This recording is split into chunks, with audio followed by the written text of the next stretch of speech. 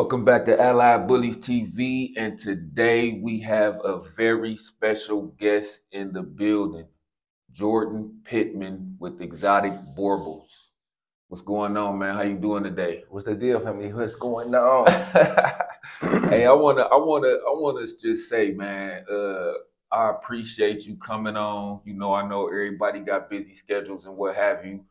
I appreciate you for being here. I also want to say, you know, I've been since since we touched base, you know, I've been kind of like following you and watching your uh YouTube channel, you know, for for people out there that don't know, you know, maybe you know the bully breeders. I know the Boerboel breeders, they know. But you know, he got a YouTube channel, Exotic Boerboels on YouTube. Go check it out you can learn a whole lot, man. He got a whole library of information on that channel, man. Go check it out. And it pertains to any breed, not just Boerboel. So go check it out. Thanks, bro. Yeah, appreciate that. Yep. I'm trying my just trying to do something, you know, and give back to the dogs.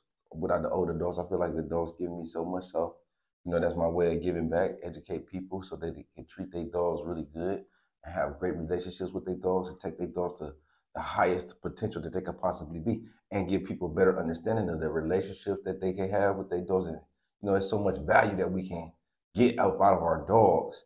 And I think people just overlook it because we just going for the surface. We ain't getting deep.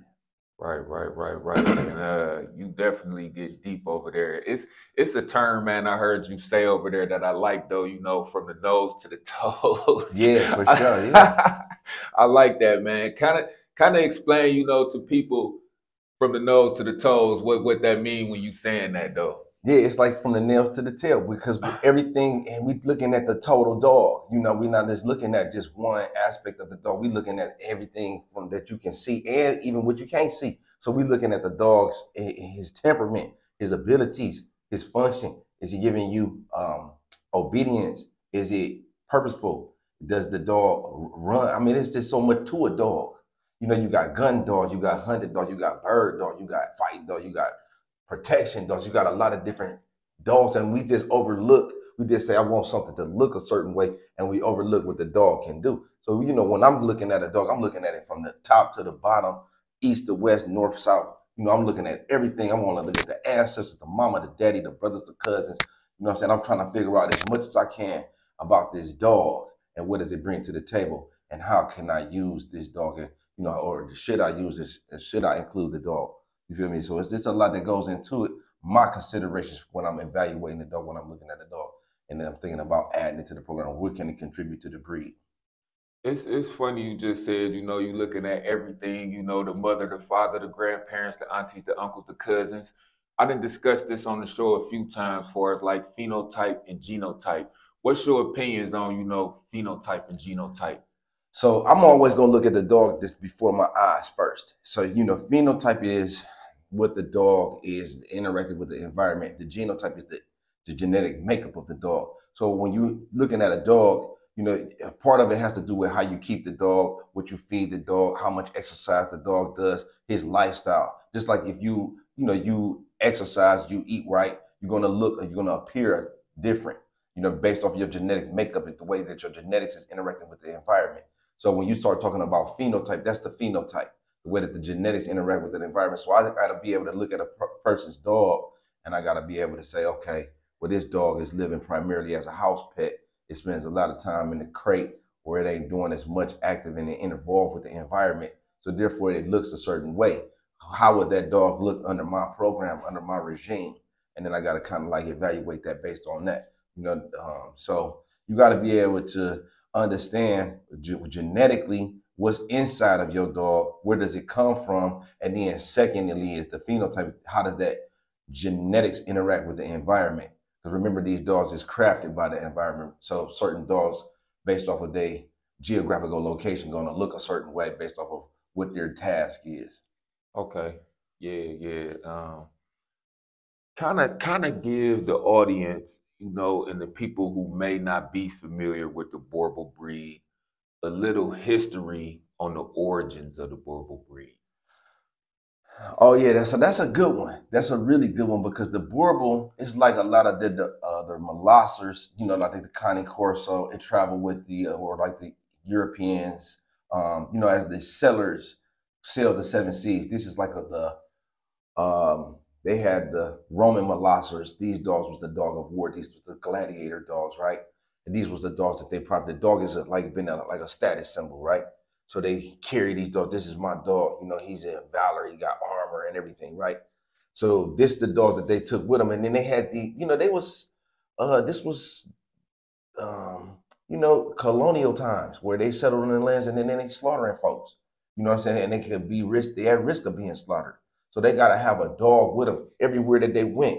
You know, when they came to America, they brought the bulldogs, they brought the English, uh, you know, mastiffs. When they went to every different area that they went to, that they settled, they had dogs with them. Dog been alongside man since before Christ right? So this is something that you know we just evolved alongside with the dog. So right. when they settled in South Africa, they had their own version of the Molosser, and it was like the Bullenbeissers, you know. So they, and then the way that this dog developed, you got the native South African dog. It's an Africanis. It's like a stray, and then they they interbred with those dogs. They got a lot of different dogs, but it was it arrived out of purpose. You know, we um, have these certain predators that put us at risk. So they have like a hyena that this dog is equipped to deal with hyenas, baboons, lions, you know, certain they they capable of defense. And they look this represent an obstacle to overcome when you happen to if you're trying to get some goods, you're trying to prey on predator, you know, predators preying on the livestock, so on and so forth. So this dog has developed and derived out of necessity, right? So in South Africa, you know, they say it's the lion hunter. That's not as 100% true because if you think about a lion hunter, this dog is too big to actually be a hunter. It's more of a protector. It's more of a companion, right? It's like a self, a sense of security, like ADT. with right. the, um, so if you're talking about a hunter, if you look at a hunting dog, that's the Rhodesian Ridgeback. That's the hunting variety, the South African hunting variety of dog those dogs is very different. It's more agile, it's more alert, it's intelligent, it's decision decisive. Right? This dog is moving all around. He's tactical. You know what I'm saying? Because he gotta be skilled. Right. And he gotta be like, you know, very aware because you're talking about, you know, you going up against some dangerous threats. So it's not necessarily a hunter. You got, you know, in every society have a hunting variety and it's got a protection variety. You see what I'm saying? So like, you know, we got hound dogs, we got a variety of hounds, coon right. dog, Treeing walkers, you know what I'm saying? We got mass, we got those terriers, terriers. Right, right. You know what I'm saying? We using all the, and that's where I feel like we be overlooking the dog purpose. But I'm glad that you asked me that because the Boerboel has a unique history, and it goes back to the dogs in Egypt. For real is what I'm finding out. Okay. And they try to often discount, you know, the fact that they had those dogs was already there, and that's what I believe makes them really special, because it has this um, dog that's the native to South Africa. There's a harsh climate and it survived in the streets. The African canis dog is basically a stray. It's just a brown dog, like a dingo. Right. And this dog is intermixed with the Boerboel.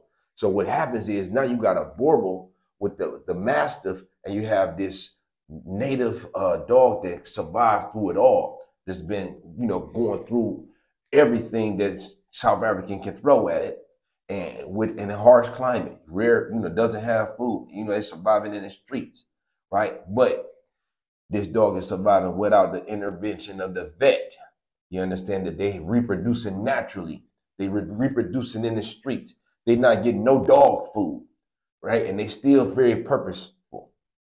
You know, um, so when you mixing that, when you breed that, it's kind of like the strongest, the survival of the fittest then kicked in. You know, that struggle. That dog is surviving the struggle. And he have survived the struggle. He have proven that he have what it takes in order to be able to be successful in this type of atmosphere. So when you start talking about a dog like that, and then you mix it in with the mastiff, now you got a super dog. You see what I'm saying? Because the mastiff have all these shortcomings. You know, the mastiff have basically lost its purpose, its function. It's not able to um, run and do the things that it was originally designed to do. You know, it's not a defender. It's not a protector. Most mastiff days, most mastiff breeds. But when you got the South African Boerboel, it's created, it's developed with this dog that come arrive out of the struggle.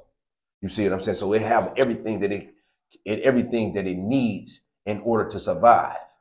Right. And so that purpose that gives it a different, like a little twist, you know, because the dog has have to be alert. you know, if you're surviving in the struggle, you know, you your your senses is all what your, your senses is heightened, right? You have to have a um, because you're relying on your eyesight, you're relying on your sound, you're relying on your nose to survive. You see, you're not being coddled, you're not being um, supplemented all of these different ways, like a lot of these different pure breeds. And today, and I think that's what makes the Boerboel robust and, and hardy. Uh, I was gonna ask you, you know, what country the Boerboel come from, but you pretty much answered that. Uh, what what was the specific purpose or the job of the Boerboel, you know, when it was originally created, you know? So when the Boerboel was when the Boerboel arrived in South Africa, when the Boerboel arrived in South Africa, you got to remember they settled in foreign foreign territory, right? They're just like you pull up in. Let's say you from I don't know where you from, bro. I'm from 105. Okay, let's say you come you from the five, and you come down, you come across. You, you let's say you just you head over to Kinsman, Right. right? You in a posse. Right. You like, man, you know what, man? I'm tired. I can't. I'm not eating over there on the five. I'm finna settle over here on Kinsman. Right. And the people on Kinsman like, hold on, yo. Y'all coming over here now? You imposing on me? You, you know what I'm saying? We trying to eat over here too. Right. And you like, no, well, I got my dogs with me. I'm just going. Um, I mean, they would just slaughter the village. You know, they might take out their knives and their guns and stuff, and they just like start gunning them down. Right. You know what I'm saying? Anybody that was a warrior, anybody that opposed them, anybody that got in their way. So this is a risky lifestyle, and you have to have a, you know, you keep a dog with you because you need everything. You, you trying to survive. Right. You know what I'm saying? Everything you're gonna use everything, every resource that's available to you because you're trying to survive, and you sub- and you settling in the native territory, a foreign territory. So that's what the original dog was kind of like. These dogs was the protector because remember, I mean, you know, these not necessarily peaceful adventures. You know what I'm saying? If anything run up is it's over with. Right. We're gonna we slaughtering, we slaughtering if we have to. You know what I'm saying? And it's not like we don't even think twice about it. We we ready to slaughter. So this is like this is the dog of war. It's a dog of war. But you have a a, a more peaceful, you know, aspect of the dog when you start talking about the native dog because that dog was just trying to survive. It was trying to be an asset. It was just trying to um it was trying to win. You know, they're trying to it's just trying to live. Yeah, and so you got these other dogs that arrive, you know, that intermixed and they bred the dogs and they said, well, this is a better dog. You know, so we'll use this dog. This dog is more purpose. It, it serves our purpose. It's a better utility. It's a tool, so so to speak. And um, when you think about it like that, you know, it makes this, it makes total sense for this dog to be, you know, robust and, Right. and hardy.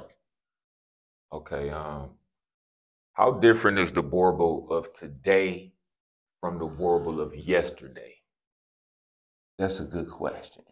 So the breed is undergoing refinement. So I started in like 2006.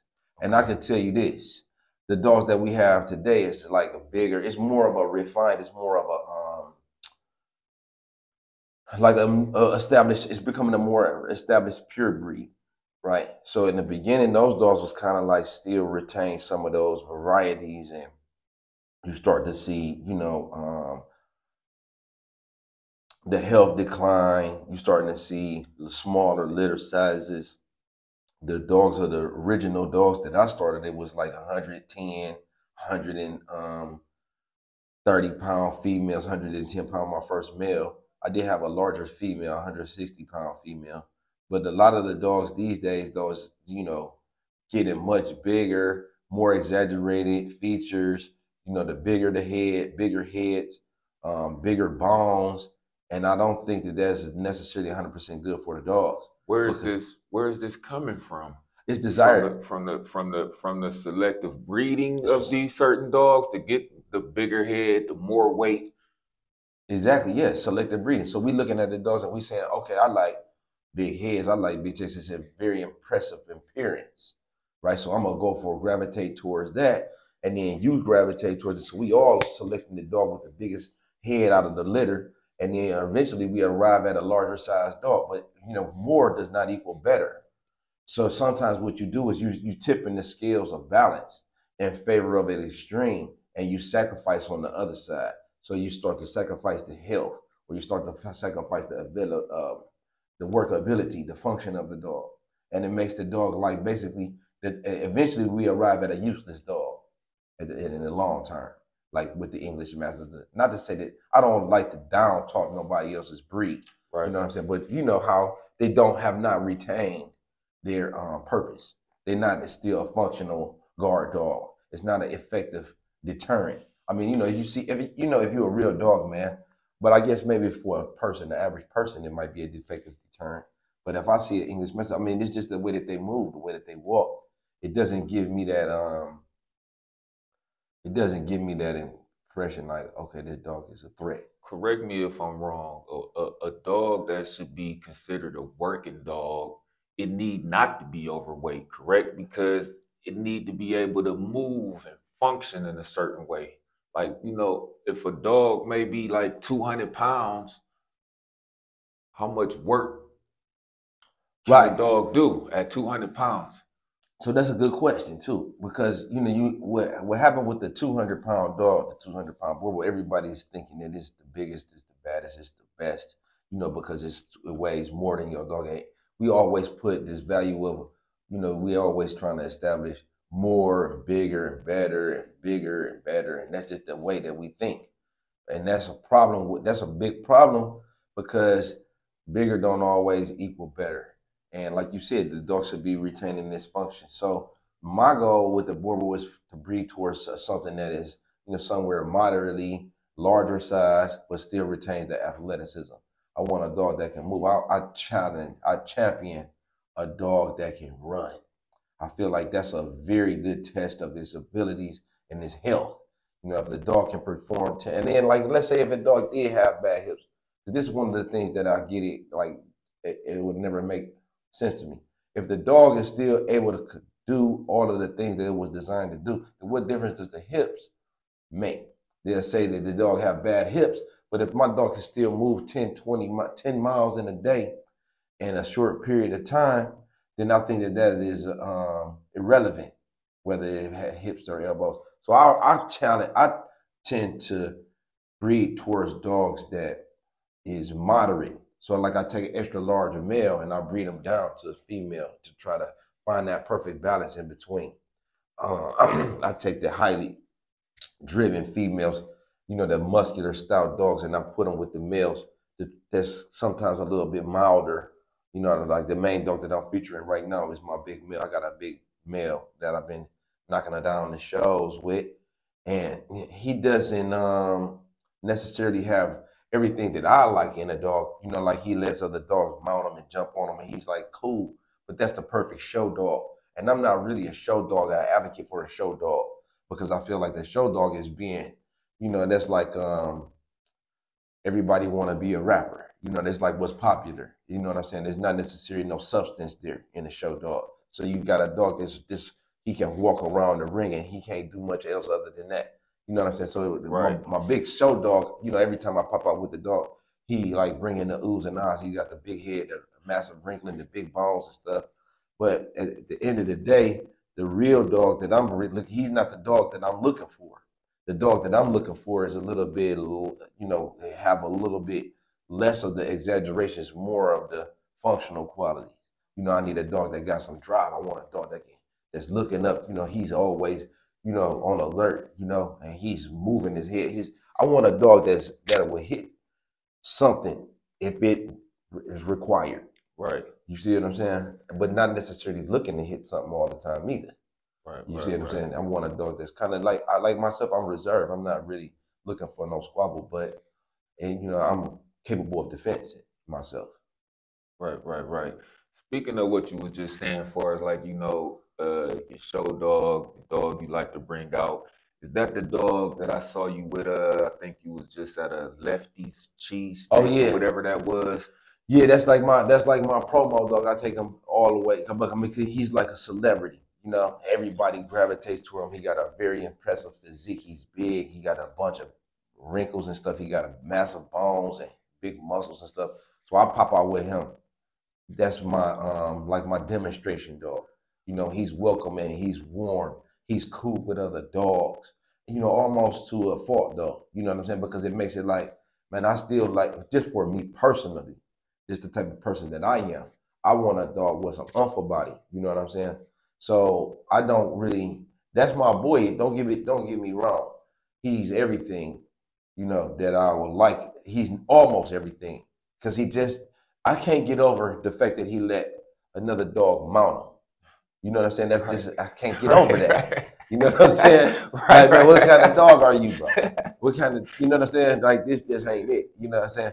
Now my dog I keep in my house is no a uh, different the, story. Yeah, Balto, when he comes over, he won't even look at my dog. You know what I'm saying? He a little dog. He like 120 something pounds. But he got go. He got gas. Right. He'll go 10 miles, you know what I'm saying, and back. He'll go five miles and back. I make him run, pull weights. He do the protection work. He versatile. And it's a utility breed. Right. You know what I'm saying? He can step out in the shows. He got conformation. But, you know, he's, he's not the kind of dog that they're going to champion. Right. How how important is that for you to get out, you know, with your dogs and be like an ambassador for the breed and let people, you know, see the dog and you talk to them, explain the breed and, and what have you? How important is that for you? Um, it's kind of important because you know, I, like the at the level that I done reached, you know, I feel like you know I done had so much success with the dogs I feel like I just owe down to the, you know, like I don't want it to be a, a one sided relationship where I just take away from the dogs and just take the dogs and just use the dogs. So I feel like I, I owe, you know, they done given me so much and I really appreciate what they have done for me. You know, I have survived some tough times in my life where the dog was there for me. You know what I'm saying? And so I just feel like indebted to the dog. And I want people to honor their dogs and treat their dogs with respect that they deserve. You know what I'm saying? We type of overlook a dog or walk over, step over the dog, and the dog is there for you. You if you leave and come back in five minutes, he gonna act like you didn't miss you his long lost best friend. And I mean, you know, you don't get that from people. You know what I'm saying? And that's something that I feel like society could benefit from. So I, that's just my way of, you know, just doing what I can for the breed. You know, putting on for the dogs, just like we put on for our city. Right. You know what right. I'm saying? It made us who we are. Right. Right. And, uh, you know, so it's you know, it's a Cleveland. We represent for the city. You feel me? Represent for the dog. I represent for my blood, like my family. You know, just, uh, you know, just being part of who I am, being true to myself. Right, right. Yeah, I understand. I just when I see people out there like you getting out there with their dogs and advocating for whatever breed of dog that they got, you know, I I, I appreciate it. I cheer it on, and you know, I like to see people doing that, man. Thanks, bro. Um, can you kind of break down, you know, the breed standard for the Boerboel breed, such as maybe like height, weight, coat colors, what the temperament should be, and, and et cetera, things of that nature. So the Boerboel is a prominent, imposing figure of strength. It's supposed to be big, supposed to be large, supposed to be very, um, you know, like the lines of symmetry, proportion, and balance. You know, it's not supposed to be overly tall or overly long. Everything's supposed to be in proportions. The standards is like at floating though. It's open to interpretation. Okay. So that's the problem that I have with the standard because it's like you know, um, you know, it's kind of like the law, right? And sometimes we could people try to twist the law and make it work for themselves. You know, like they argue against the law, argue cases and stuff, right. and then it's just the interpretation of the law. Same thing with the standard. The standard, well, the standard is like even more loosely interpreted than the law because in the law you got precedents where you know the, the other people that made a decision based off of this law before. Right. So in the standard though, it's like open to interpretation to this day, right? So we don't have the president. So people could still debate it somewhat. Right. And especially when you're talking about in the heat of the moment, right? So we're talking about at the show. And the judge, you know, like, so the judge may not know the law to the T, you know, he may not, you got 260, 160 different breeds that he's supposed to know to the T. He's supposed to know the centimeters of the skull, how long is the stop, the definitions. You expected a human to not make mistakes with a breed standard, 160 different breeds. One judge supposed right. to be able to cover all of that. And they're gonna make mistakes. This was open to interpretation. It's, it's prone to error. Right. And that's my issue with the breed standard because it's not something that's clear cut we can say, okay, this is exactly how it's supposed to be. And then we're talking about a visual appeal, a visual inspection, you know, based off of the appearance. And that's superficial. That's like a materialistic. You know what I'm saying? You're not going to make your decision the type of man I am off the way that I dress. I hope you don't. Right. You know what I'm saying? Because that's uh, deceptive. Right. You know how a person dress. You know, appearance does mean a lot, but it don't mean everything. Right, right, right. Yeah, I get it. You could have somebody who got on uh, a pair of sweats from Walmart and somebody that got on a pair of sweats from Saks Fifth, and you know, you got to go off the character of that person, not off the jogging pants. Yeah, I, yeah. I get it. Yeah, exactly. Because the pants coming off at the end of the night. right, right, right, right, right. Uh, what what are some of the main health issues, you know, and concerns when it comes to the Boerboel breed? So the, with the Boerboel, I feel like a lot of it is obesity related. Because everybody trying to check out this big dog. Everybody trying to put weight on their dog fast. So you're gonna get dogs that's just overweight. They can't breathe. They can't hardly move. And I think that's the biggest issue I see. Um, most of the dogs that I so I do this thing where I take dogs out in a pack and I'm moving them all as a pack. And a lot of times when people bring in their dogs, sometimes they bring in a pet and they want to roll with the pack. And the pet just is overweight. Right. You know what I'm saying? Right. They can't even get started because they gotta poop three, four times to get the, you know what I'm saying? He said, your dog is surviving as a pet, right? So my dog is earning they keep, they got to earn every meal. You know what I'm saying? And they gonna go, go, go without. And right. I need to be seeing, I need to be seeing obedience.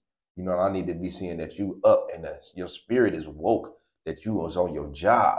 You know what I'm saying? You earn your keep for me. And so um meals is few far and in between. And we moving them around. You know what I'm saying? So my dogs is like on the hunt when we get out there. Right. And right. They, and I feel like obesity because they have that they have that hunger. You know what I'm saying? They have that uh, instinctual drive to survive. They're looking for food.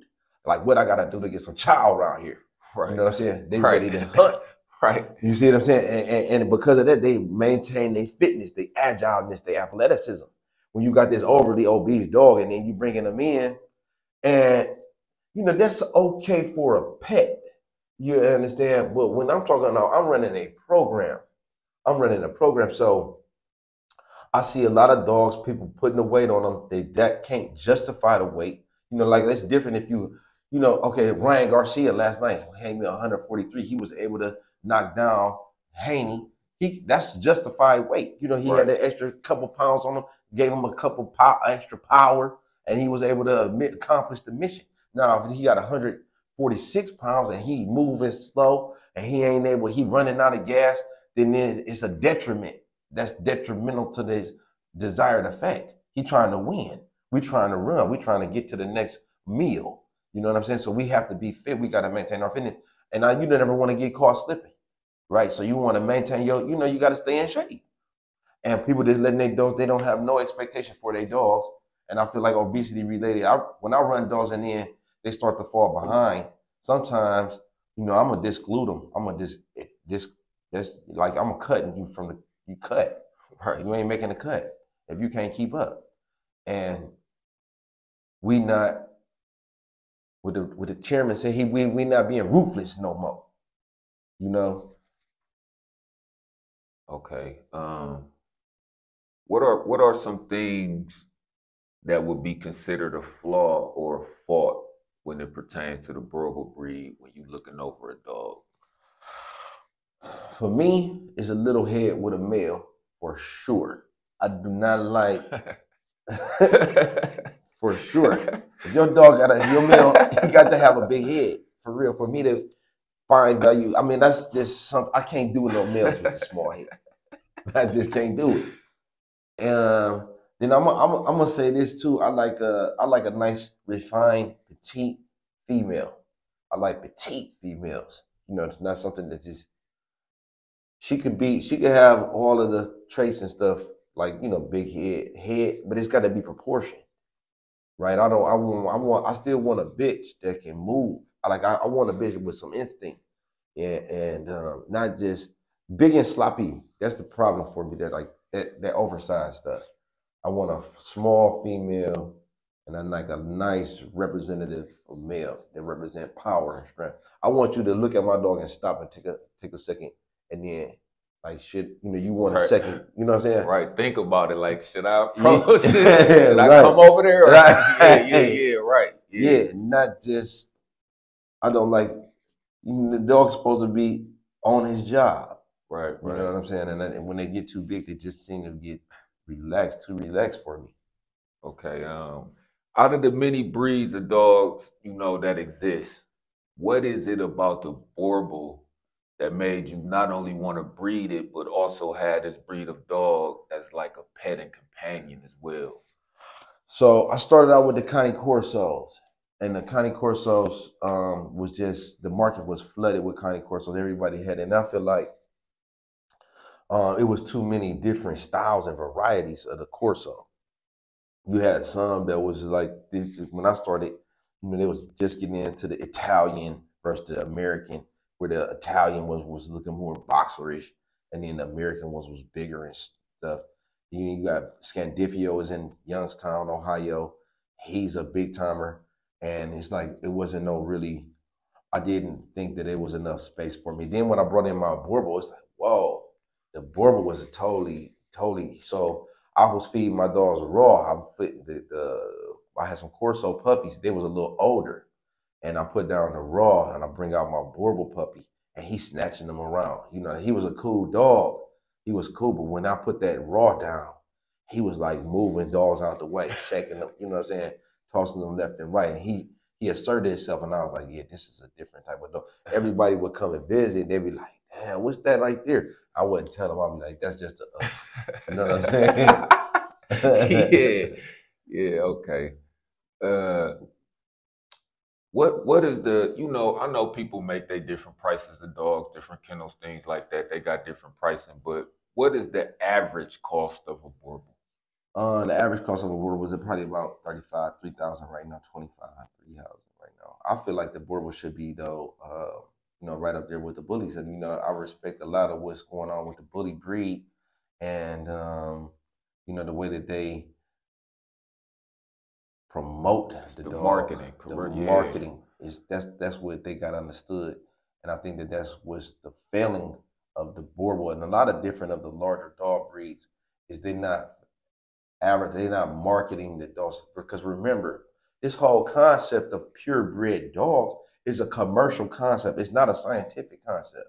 It's a commercial. It's based off of it, there is no amount of generation that you can look up and say this is scientifically now at this point it's established as a purebred dog. That's a commercial concept. That's derived out of market, right? So we'll say, okay, yeah, my dog is breeding true to type, and I'll get on a campaign and I'll start to say, yo, I got this dog and this is what it's able to do. And I'm able to reproduce this consistently. And now I'm establishing this is as a pure breed, right? I done wrote a standard. Me and my dudes, we wrote a standard. We got together, me and the posse, and we sat down and had a meeting. And we looked at our dogs and we said, this is what I like about my dog. This is what I like. And I'm going to write this into the standard. And this is the way that it should be. It's not necessarily justified based off of, okay, I'm, I need a dog that can fit inside of a 14 inch hole because the typical hole of a groundhog is this size, or I need a dog to be able to navigate through the through the high weeds in the brush. So I need them to have thick legs. I need the legs to be mandatory minimum of this size. You see what I'm saying? Yeah, it's They not- it's all for marketing to to you know to a point for us like you know with paperwork you could you could sell a dog with paperwork and that dog is valued at to be more money than the dog without the paperwork. Right. Right. Exactly. Yeah. So that's that's part of it because okay. So but people not understanding what is the weight of the paperwork. Why is the paperwork value? What makes the paperwork value? The paperwork is establishes a lineage. Right. right? The paperwork is a document, a recorded document that may have all of its accolades. So you might have your, you know, you get canine good citizen, your best in show, you know, your Schutzhund 80, your IPO, whatever ratings that's associated with the dog, and then you're able to retract, and then you're able to identify these traits as they're being passed on to the next generation, so on and so forth. That's the value of having a pedigree, right? But you still cannot overlook the dog in front of your face. Right. And see, so, so people, I feel like a lot of times people be chasing pedigrees and stuff. They don't really understand, you know, the true value of the, the, the true value is the dog that's before your eyes, not something was written down on the paper because the paperwork, I learned this very early in the game. The papers really is only, um, a you know, it's, it's only, papers is People people create papers all the time. That's what I was gonna say, especially when people lie and hang papers and it's dogs in that pedigree. If you're looking at that pedigree, if you're a person that's just clearly going off the paperwork and you're looking at that pedigree, it could be two, three, four, five, six dogs somewhere up in there that ain't even supposed to be there. Another dog supposed to be there. Exactly. Exactly. So, you know, like and then and then you know, um just being fair to humans, it's also prone to human error. So people can make mistakes. You know, we don't always want to like put people in a bad space and saying that they always. Sometimes people make mistakes, Right. honest mistakes. So when you start talking about a pedigree, I mean, you just gotta look, and then you gotta remember this too, man. Dogs are bred to have a um purpose. So like a lot of dogs should not have been bred, and I don't like to really like because I respect the bully. No disrespect to the bully community, but because they have created some fantastic dogs, you know, like experiment. I mean, it's this a, Right. phenomenal what they're able to do. But at the same time, a lot of the, if you're talking about the original pit bull, the real game dog, the real bulldog, then that is like, um, how do you get to this this bully from the pit bull? You know what I'm saying? Those were curs. Those was curs. You're talking about these the dogs that they had selected, they gave away. And then people took them and started breeding them and making them into pets. And then they started adding stuff in there and mixing stuff in there. And they didn't ever say, this this something totally, this is not a this is not a bulldog, this is not a game dog. Those dogs was they, those was curs, them was culls. They was released, they was nothing meant to be bred. And then people done took them and made them not they just wasn't desired for they wasn't desired for their original purpose. And then they done took them and made them into a breed that really is only uh, uh, designed to just appear to Right. be able to do a perform. But even from a companionship perspective, you know, the bullies is fault. I mean, I don't want to like rag on the bullies because I, I respect the game, but bullies is falling apart. You know what I'm saying? You got dogs that people will, walking them around in baby cribs and wagons and stuff.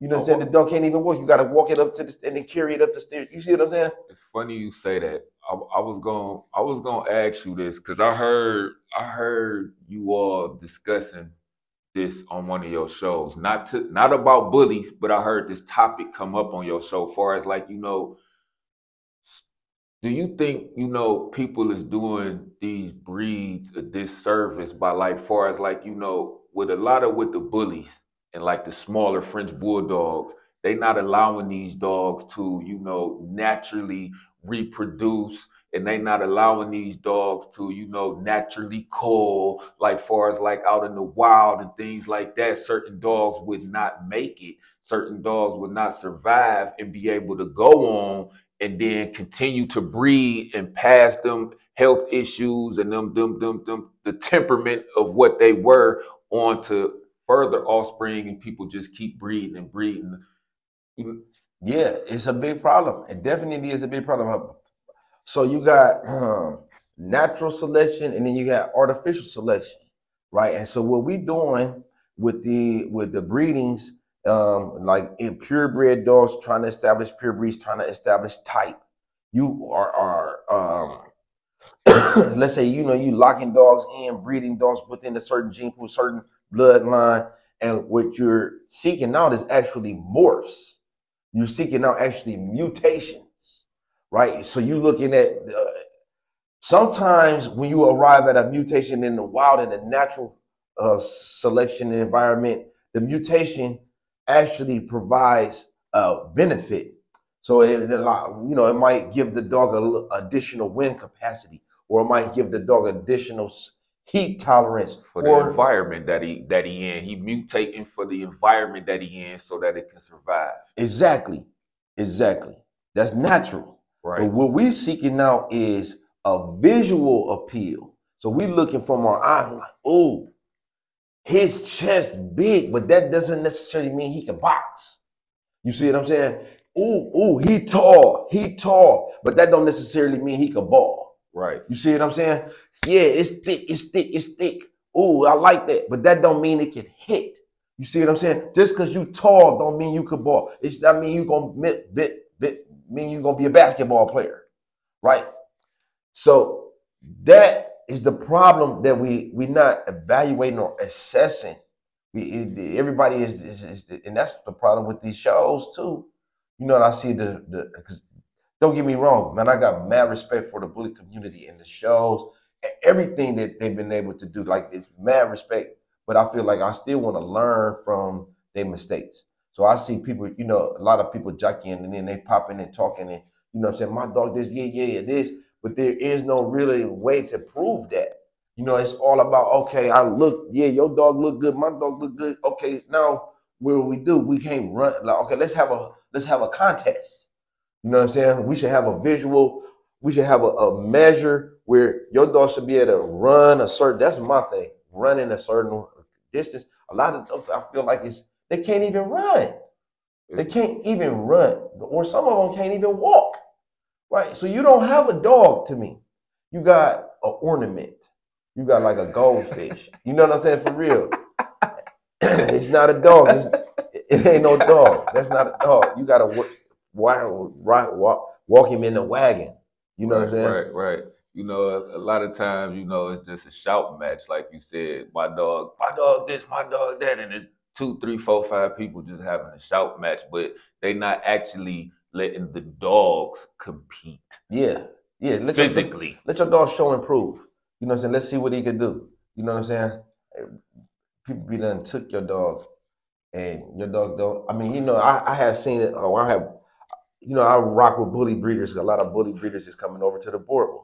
Right. You know what I'm saying? So, uh, man, this dude, you know, I'm pulling up, dropping off some dogs. He's got a Frenchies and uh, the Frenchie came out and got loose. I got to throw my dog in the truck. And I picked his dog up. Like, hey, man, your dog is out here loose. You know what I'm saying? Did you right. know that? I got the dog and I'm walking it like it's my dog. Right. You know what I'm saying? And it's like, man, come on, man. What's, it's funny to me. Right, you know right, right. Yeah, yeah. I like a bigger dog, though, myself, too, though. Yeah. A dog that's going to leash, you know, like I said, when you see it, you're going to want to hold on, the dog gonna show some, you know, get back, you know. Yeah.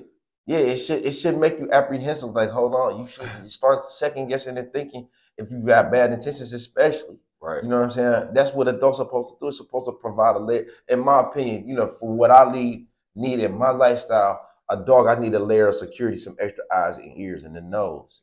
Same here, man. I yeah. agree.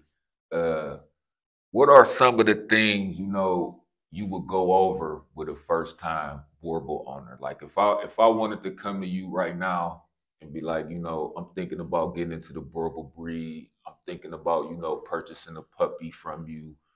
What's some of the things you know you might want to go over with me? Well, you know, I talk about experience. You know, a lot of um what you're going to benefit and with the dogs with a Boerboel is observation. So you need to be able to like you read your dog how is the dog going to respond to certain different environmental stimulations? And you know you want to be able to communicate with your dog establish a bond. So it's not about you know how good of a dog trainer that you are. Are you committed in are you vested in the dog the dog the human relationship? You know are you willing to commit? You know like i got my dogs out in the truck. You know what i'm saying? They're going well when we leave here we're gonna go hang out for a bit you know what I'm saying? And then you know that's just two of them. But you know every dog deserved that at some point. You know what I'm saying? And um, before I left, I was investing with my dogs, just spending time making sure that they fed and everything. You know, not they ain't like oh, I'm gonna be here all day long, but I still, you know, make the dogs a priority. And then I feel like you, if you're not willing to do that, you're not gonna reach your greatest potential with the dog. You might end up having a headache. You know what I'm saying? Because this dog is not the type of dog that's gonna just sit up in the crate and be comfortable like that. They got to get out. They got to in, in, in it's a real dog. So and they got power. So he coming up out that crate. You know what I'm saying? He, right. he ain't built for him. right, right, right, right, right. Uh, you know, I believe I heard you speak on this this before. Uh, so I thought, you know, it'd be a great subject if I brought it up for the viewers out there. Why do you think, you know, it's important for a female dog you know, to preserve her feminine femininity and and not be too masculine. You know, like how how important is that? That's extremely important. That's extremely important because what you're looking for in a mom is fertility and maternal instincts. You need a bitch that's gonna raise your puppies with care. You know, you want a bitch that's gonna be mindful and care, you know, like careful, gentle when she re- reapproach the nest. You know, you letting that bitch out, she come back in. You don't want this butch at, you know, this butch female coming in, she laying down, plopping down on the puppies. You know what I'm saying? She's uh she can't have a, a successful litter because the dog's puppy's heads is too big. You know what I'm saying? She's not producing a whole lot of milk.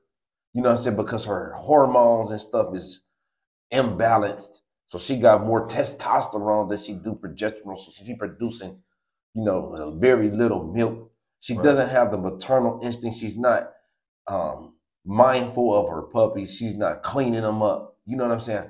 So when you that's that's what a feminine dog, a feminine female, you know, they have a large litters. They don't they don't necessarily look, they're not the biggest, and they don't necessarily carry the extreme exaggerations that you make you say, oh man. But see, that's what I'm looking for in the male. I'm looking for my male to be strong and powerful and posing. I'm looking for my male to have that warrior look. I want the, my male to look like, you know, he ready to take care of business. I'm not necessarily requiring that from a female. Just like I'm not looking for my wife to go check and see what was that noise. You see what I'm saying? Or she ain't. I ain't looking for her to none of the girls to step up and right, you know what I'm saying, be initiating contact or you know engaging in combat. Right. So it's just the natural way. Female's supposed to be refined, feminine, and um, natural, maternal, nurturing, caring, and that's just uh, I think that goes along with the hormones. You know, I just thought I'd bring that up for for you know the viewers, but also the bully viewers because you know a lot of times you hear them saying, "Oh, I got this she-male. Look at this she-male," and they boast and brag on having such a huge, big female. So you know that's why I thought, you know, let them hear some of the knowledge that you got to give on that kind of perspective. So you know that that's that's why I really wanted to cover that subject, man. Yeah, it's cool. It's cool. I understand. I See, a lot of what's going on, and for real, um, it's like a class thing with the dogs. This is what I picked up on, and then like you know, so a lot of what we do is showboating and bragging because we got to be important. We want to be, you know, somebody. We want to be a part of something, and we, you know, a lot of times what happens is with people you know, um, um, we be pushed to the side, kind of like overlooked. You know, we don't really know our purpose. we trying to find ourselves. So we like find validation through the dog. We able to say, look at my dog. You know, I done did something. And then it's just uh, at the end of the day, we we valuing we valuing the wrong thing. We looking at materialistic. We looking at appearance. We looking at appearance and not really the content of the character. Right. People also, you know, making it about themselves instead of about the dogs. Yeah, that's what dog shows is all about. The dogs don't really care about nothing about medals, nothing about being involved with a whole bunch of other dogs. the dog is there serving the human, and the human is there trying to network and socialize and, you know what I'm saying, get accolades and stuff dog shows are for people. You know what I'm saying? And, it, and you had to understand that. So I like I don't learned a lot about this behavior from living with dogs, being intertwined with the dogs. You start to learn about yourself because of you studying the way that the you know this behavior. The dog doesn't talk. So a lot of what you're going to get from the dog is based off of your observations You know, you got to be like listening with your eyes. You know what I'm saying? So it teaches, it teaches, I've learned a lot from that. And that's just like uh, the shortcomings of the human beings in society, the culture. It make me want to, that's part of what I do. That's really a lot of what I do is about leading with example. You know what I'm saying? And trying to establish, you know, logical thinking. But a lot of people just not really even thinking things through. They're not asking no questions. They just take what somebody else told them and then run with it. Like, okay, this is the way that this should be. Instead of question, not questioning a lot of stuff. Right. You know what I'm saying? Why, what, who, how? You know what I'm saying?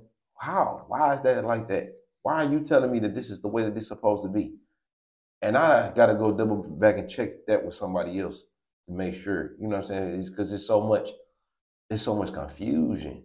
It's funny you say that. I'm the same way for as like, you know, outside of the dogs, I try to teach this to my kids for as like, you know, I always want to know, like you said, okay, well, why is this this way? Okay.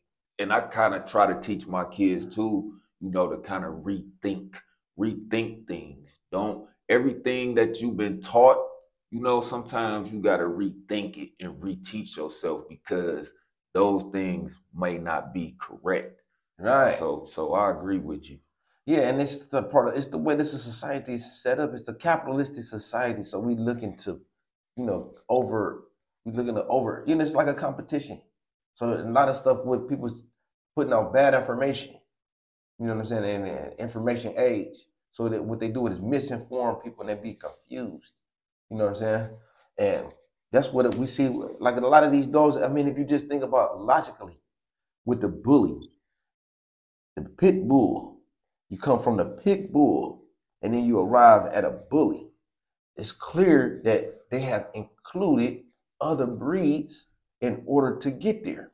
Yeah. And but then they'll tell you, well, this is a pure, this is a pure breed. And they make it a mystery and a taboo thing, and people don't want to speak on, you know, the breeds of dogs that was mixed in. I don't know why, and it's clear to see that you did not just take American Pit Bull Terrier and American Staffordshire Terrier and selective breed those two to get to the dog you see in front of you today.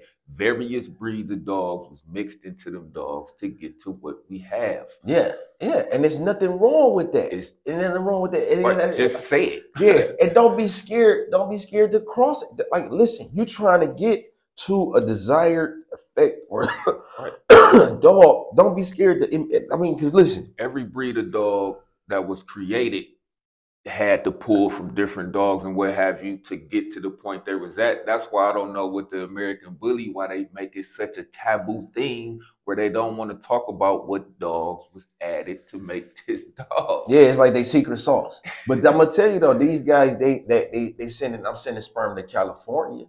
You know what I'm saying? I'm sending it to Arizona, sending sperm, the Boerboel sperm to the bully guys. Right. And they creating a new right. cells. You know what I'm saying? Right. And but I be telling people here, I'm like, listen, y'all, this is the secret sauce. You know what I'm saying? You gotta put something in it. You gotta you gotta make it for that thicker bone, for whatever you looking for, right? Yeah, you got to add something. You can't you're not gonna get that from something that's you're not gonna get what is not there. You can't get that. It's not there you got to add something to it. You got to bring something to, you know what I'm saying? Like whether it's red or merle or whatever, temperament, temperament, all of that. Right. You know what I'm saying? You have to, that, uh, but it's like we be, uh, we want to follow instead of lead. You got to be willing to blaze the trail. You got to be willing to take some hits. You got to be right. willing to take some hits.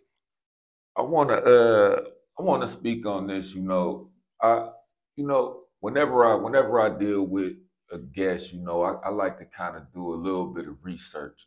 And you know, when I was doing a little bit of research on the breed of the Boerboel, I kind of came across people being decisive on the black coat color. Can you kind of break down what's the controversy behind that, man?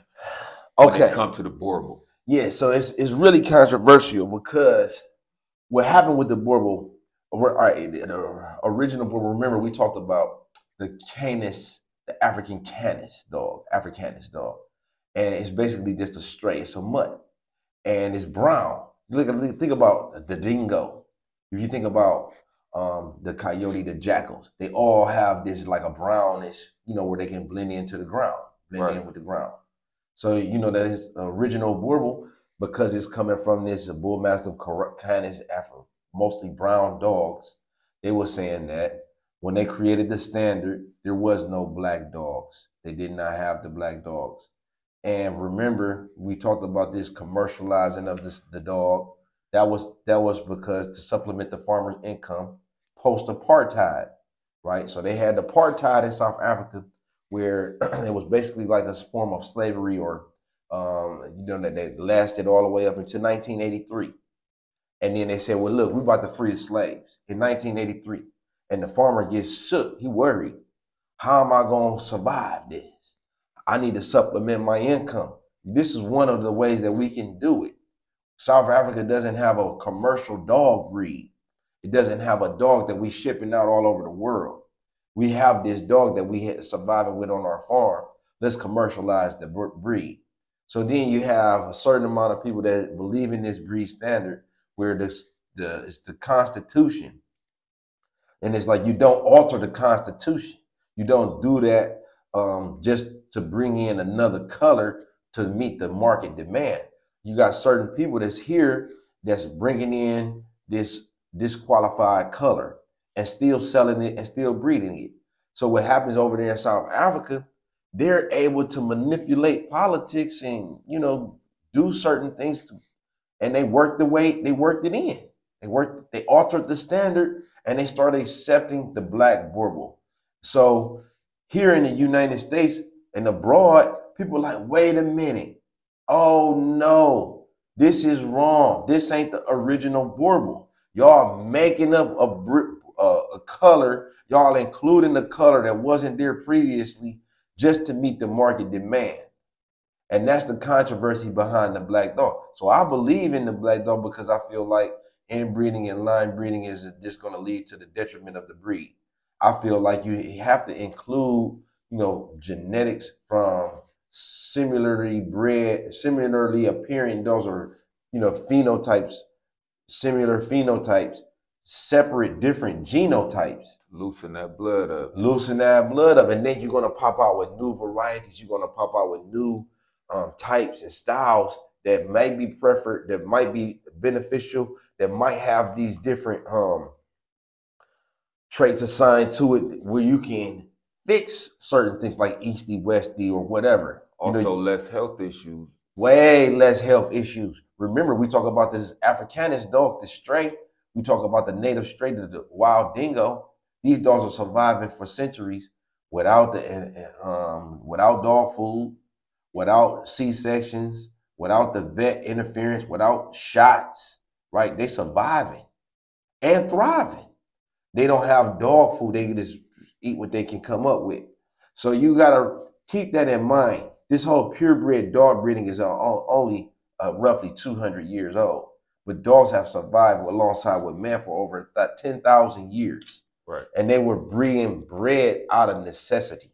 This whole living in a lap of luxury with all of these, you know, this we don't even worry about getting food. We know we got food, right? But back in the day, we had to hunt. So your dog was an asset. You know, he aided in the hunt. He might flush out game. You see what I'm saying? We arrive at purebred dogs out of the luxury of a free time. You know, because people have free time, they like hanging out, they ain't got nothing else to do. And then on Sundays, the ladies, the wives would come on and they would socialize and they would have dog shows. They would that's how the invention, that's how the dog shows came about. From people um, not having nothing else to do with their pets. And then they hook up on Sundays and then they say, well, this is the, you know, our dogs is hanging out. And that was the first dog shows. And you know, then they started to write standards based off of what they had at their own yard. You know what I'm saying? So this, I'm saying, well, this is a um, exotic Boerboel. And I said exotic Boerboel should be tall, exotic Boerboel should be long, exotic Boerboel should have this much neck and this much head. And then that I write a definition. I write a definition of the uh hold on, let me see who this is. What's up, bro? Everything okay? Oh, cause I'm in the middle of something. I just wanted to make sure that everything was cool.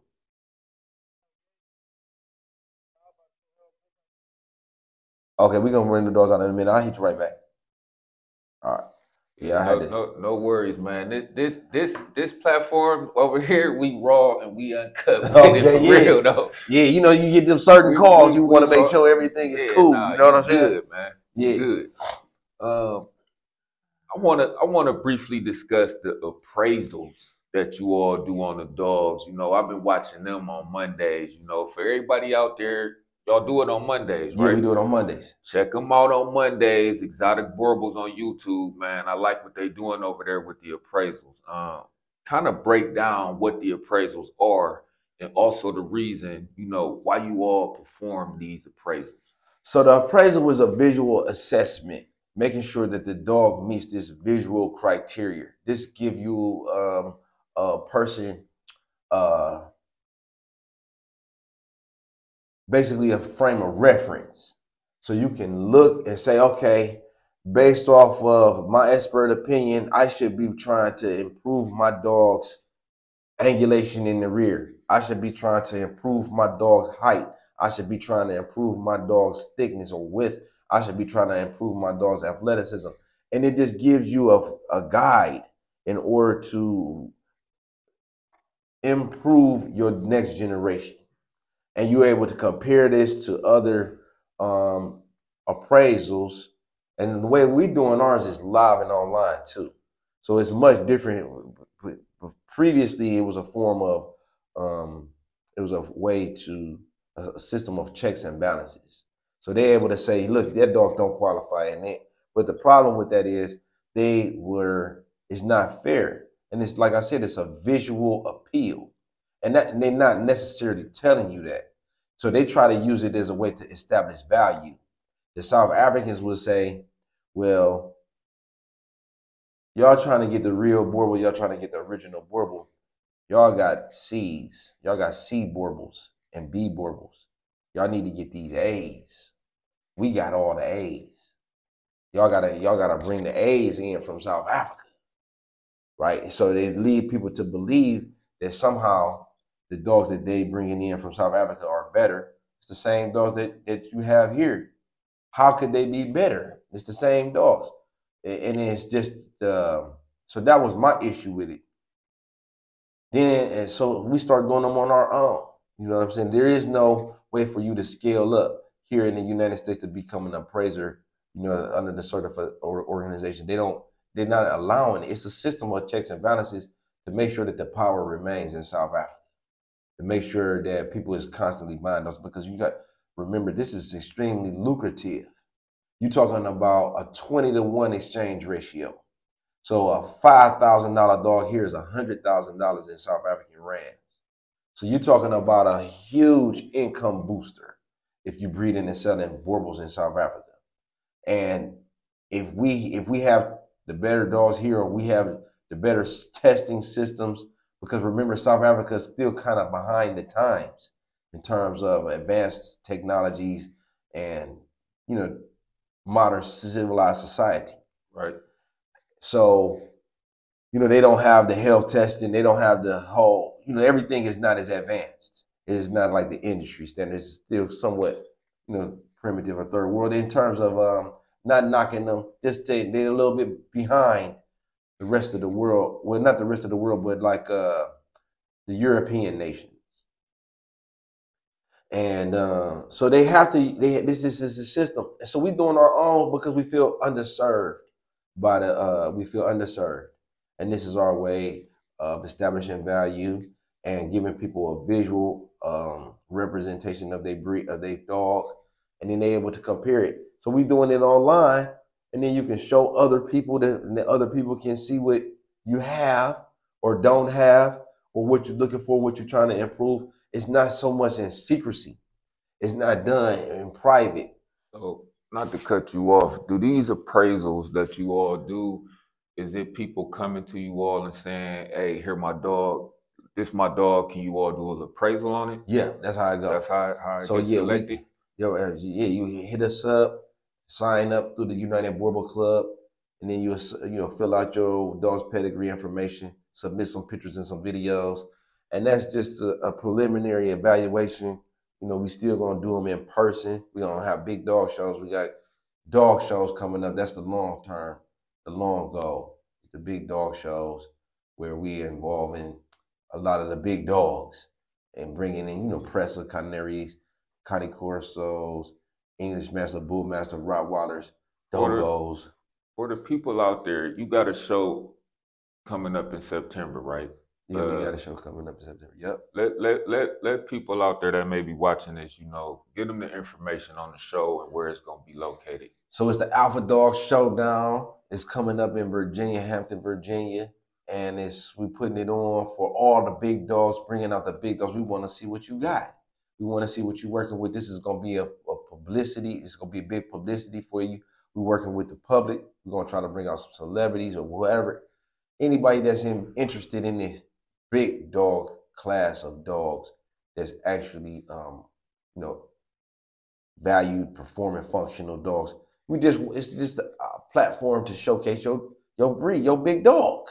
If you got a big dog, bring it out. We want to see it. Corsos, we know y'all out there. We know y'all represent y'all got y'all bringing out some real Corsos, some real Corsos in the United States on the East Coast. We want to see them. The Presas, y'all say that y'all got some of the toughest working dogs, some of the best working dogs. Bring them out. Show and prove. I say the Boerboel can hold his own weight against any of the breeds, right? So I feel like the Boerboel was the best. We want to show and prove, but it's a really, it's not so much of a competition, but it's more of a community event. We trying to get everybody out, hang out, and let's celebrate the dogs. Let's celebrate the big dogs. It's just an open platform for the big dogs, XL bullies.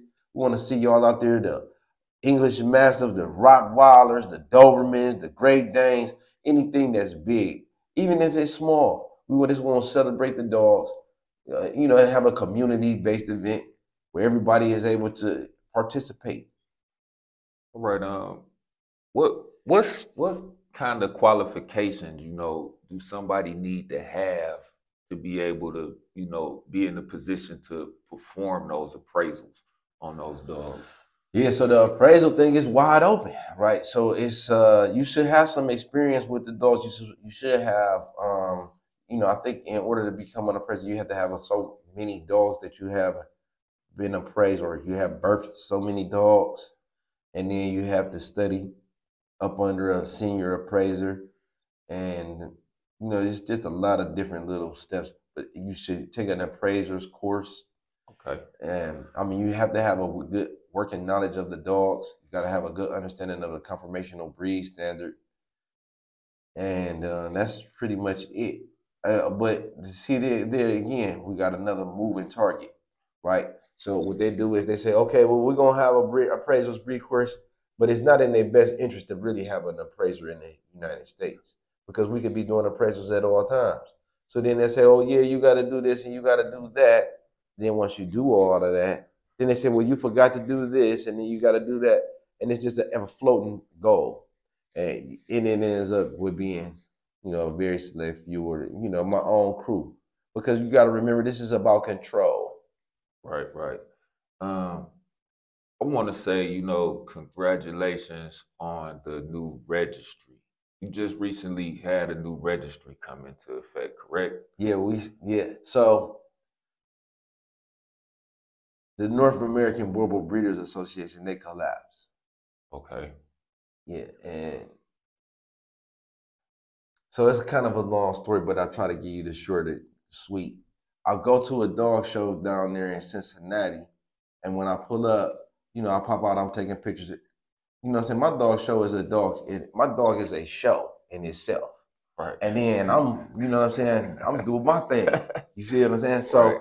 I'm out there, I'm kicking it, and we doing a dog show in the parking lot. You know what I'm saying? Right. And so I approach the table, they got trophies. I want to know what's going on with the trophies. How do I get award? They like, listen, you have to leave.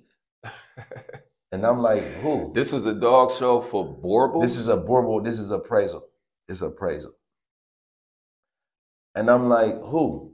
What? For what? I haven't done anything. right. You know what I'm saying? What how how do you what make you think that you could just tell me to leave? I'm from East Cleveland. You gotta right. kick me out. Right. You got to call the police. right. You know what I'm saying? right. You cannot just you can't just tell me to leave. And I haven't I, I can see if I had broke a rule. I hadn't broke no rules. So what I do is I go back to my show and I started calling in the validity of their organization. I started saying, look, y'all ain't no real organization. You got one person that's shot calling and it's a monopoly. It's a dictatorship. It's not a real organization. You don't have no bylaws. Where is your charter? Where's all of this money that you made? I can see that you made money your results showing that you made money. I just call it you you saying that you're collecting DNA. What are you comparing it against? See, that's a whole nother. It's a lot of different um, like schemes to make money in the dog game. So they say DNA, but for real, for real, what are you comparing this against? What are you comparing this against in order to be able to say to classify this dog as a purebred? Because they just started collecting DNA in 2009. So right. what are they comparing that DNA against? You can't establish breed purity from a DNA test. Right. That's just a fact. But they're collecting DNA and charging people for it. I'm like, y'all, that's bogus. And I start waking people up. And I started telling people, so what happens is they just went ahead and closed and dissolved. so you shut them down, man. yeah, they had to get up because they was faking us out. They was faking people out. So now we have a, the new, or you know, it's it really something that I always been doing anyway. This the dog club where we all hang out and celebrate our dogs, hang out with our dogs. You know, and you know this dog.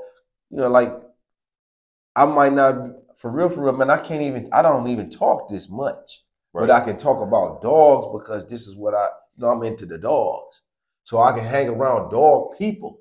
Right. Like we, we can talk, have, but we might not be able to have a whole conversation about you know, uh, young boy versus yeah, you know right, what I'm saying? Right, I don't know nothing about yeah, that. Yeah, right. So I can't even, you know what I'm saying? Or LeBron versus Kobe. I can't talk with you like this about that. You know what I'm saying? So we could talk about those, and that's what I want to do: dog community stuff. I like dog people. I hang out with dog people, and I hang out with dogs. You know what I'm saying? So it's a need, and then uh, it's a way for us to just be, you know, hang out with our dogs. We can go show somewhere when, when we when we represent when we step out Cleveland, we polished, right? We we done already rehearsed. We done got our reps in, so it's crisp and we ain't looking like no amateurs. You know what I'm saying? We highly like, damn, that's a whole nother class of dog man right there. You know what I'm saying? When they come down, you know what I'm saying? When the when when my exotic Boerboel family, you know, when we come down, it's polished. All the dogs is sharp, you know what I mean, in shape, worked out, fed well, and that's what that's what it's about for me. And then so now it kind of put me in like a under the spotlight on a really on a global thing. So I have to do this. Like I said, all these things that I be saying, like a lot of people start listening, and it's like now I don't put myself under the spotlight, force myself into the role of. A, I be seeing you, man, putting in a lot of work for that Boerboel breed, man. Like I said in the beginning, I, I watch what you got going on, and I be seeing like I, when when I like I said, I like to do research on people, and when I when I when I got on your channel, I just went down a, a tunnel. You know what I'm saying? no, for real, I just went down a tunnel and just started watching so many different videos, and I just noticed the work ethic that you putting in for that breed, man. And like I said, I I, I gotta congratulate you because you're doing a good job. Thanks, bro. Yeah, I'm really just working hard at it. You know, that's my thing. All right. Um, before we get out of here, you know, where can the people find you on all social media platforms? Um, Exotic Boerboels on YouTube, Instagram. Is a Boerboel Breeder International. I'm on Twitter, Boerboel Breeder. I'm on Facebook, Boerboel Breeders Ohio, Exotic Boerboels. And then, you know, you could always Google me. I'm on Google, Exotic Boerboels, BoerboelPuppy.com. And um, you know, really I just be with the dogs, man. You know, somewhere something going on with dogs, then you probably could find me there. All right, man. I want to say, you know, I appreciate you coming on the show. Um, you know, we can only cover so much on one show. So hopefully, you know, in the future I could get you back on and we could, you know, talk more dogs. Um, like I said, I appreciate you, man. Thank you. Most definitely, on. bro. Yeah, thank you for having me. You know, I'm honored to be here. You know, I'm, I'm uh, supportive of what you got going on. I want to see it. I want to see it reach this highest peak and get, you know, take all the way off. And um, you know, like I, I want to support the rest of the bully community, the Cleveland community, everybody that's here. You know, I'm saying the dog trainers and the, my board, uh, my bully buddies and my Boerboel buddies and You know, I feel like it's a positive thing. You know, we want to educate people, have give people insider, um, you know, just give them an insider view what it's really like. Because I think, you know, a lot of times we just get we be being misled and thinking that this is all peaches and cream. Right, right. It's all sweet and it's flowers. They're not. They're not. You have to really. You got to get it from somebody that know it's a lot of work. Right. But if you don't mind the work, then you can have some great success. Yeah, I want to say, you know, the name of the channel is Allied Bullyz TV, but we aim to bring on anybody with any breed of dog because I feel like, you know, like having you on today, you breed Boerboels, is something that these bully breeders can actually hear and listen to from people that breed other breeds and kind of learn things from these people. And bring those techniques and bring that knowledge into the bully breed to refine and make that breed better. Right. Yeah. I'm for that, bro. I'm so for that, that. that. That's why I like to bring other people on that breed other breed. You know. Yeah. At the end of the day, it's a dog. Exactly. We could all learn a little bit from uh, each other's experience. You know, that we get the lesson without the lump. They say. All right, Allied Bullyz TV, and we out of here like yesterday. Much love. This episode of Allied Bullyz TV is being brought to you by K9 Super Supplements Puppy Formula.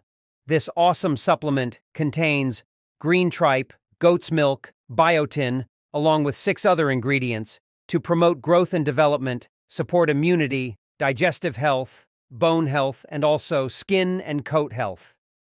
Head on over to K9supersupplements.com today and grab yours.